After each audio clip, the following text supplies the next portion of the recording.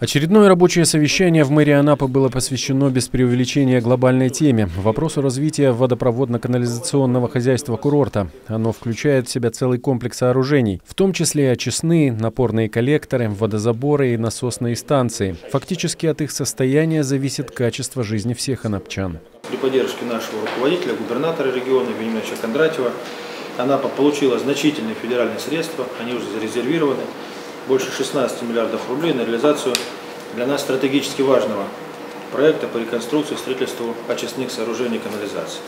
И здесь главная задача сегодня максимально четкое соблюдение всех сроков проектирования и строительства. О том, какие работы запланированы на нашем курорте, на заседании доложил руководитель водоканала Дмитрий Мариев. В Анапе будет реализовано несколько масштабных проектов.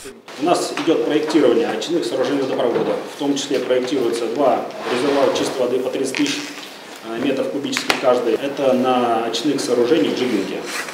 Это наше главное очистные сооружения водопровода, которые питают наш город. Это мы в рамках инвест-программы проектируем полностью реконструкцию очистных сооружений водопровода. Василий Швец подчеркнул, что от состояния инженерной инфраструктуры зависит многое. Экология, безопасность и привлекательность курорта в целом. Реализация планов по строительству и проектированию будет на постоянном контроле мэрии и депутатского корпуса Совета.